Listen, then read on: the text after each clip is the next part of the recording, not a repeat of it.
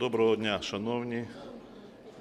Неодноразово фракція Народного фронту говорила про те, що зараз в засобах масової інформації існує певна атака на уряд, на прем'єр-міністра, на президента, на їхні команди для того, щоб розхитати ситуацію в Україні, для того, щоб добитися позачергових парламентських виборів, а потім і про президентських виборів, і щоб повернути Україну з її шляху до Європи назад до Росії.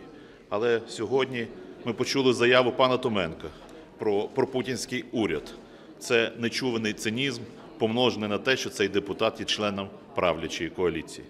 Це сказано про уряд, який в умовах розв'язаної Путін, Путіном війни утримав країну.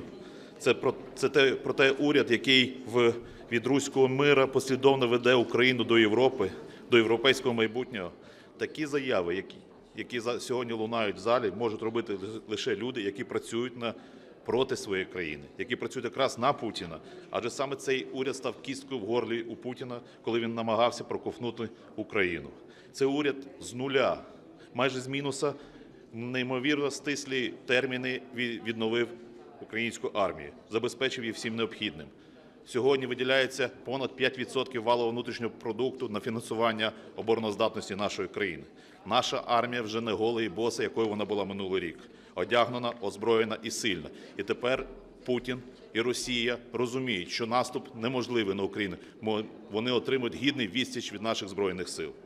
Це перший уряд, який нарешті здолав монополію Російської Федерації на поставки енергоносіїв в Україну. Частка енергоресурсів в українському імпорті з Російської Федерації у першому півріччі впала до 44%. А сьогодні, в 10-й годині ранку, ми почули, що Росія припинила постачання газу на Україні не тому, що ми не дали гроші, а тому, що нам він не потрібен. Ми закачали 17 мільярдів кубів наші газотранспортні сховища і, завдячуючи позиції наших західних партнерів, отримуємо газ по реверсу Західної Європи. Хіба про російському, про уряду припинили би поставки газу і вугілля з Росії, коли давали навіть без предоплат?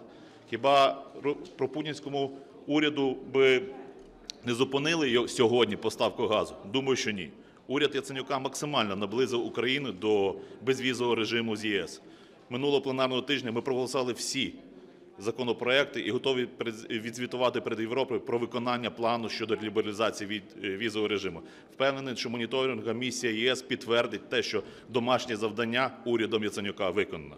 Смішно чути слова від людини, яка, попрацювавши в уряді, запам'яталася лише те, що водила на ковзанярку чиновників. А тому, Микола Володимирович, ваша риторика нагадує слова опозиційного блоку. Чи ви вже вийшли з коаліції і приєдналися до цієї групи?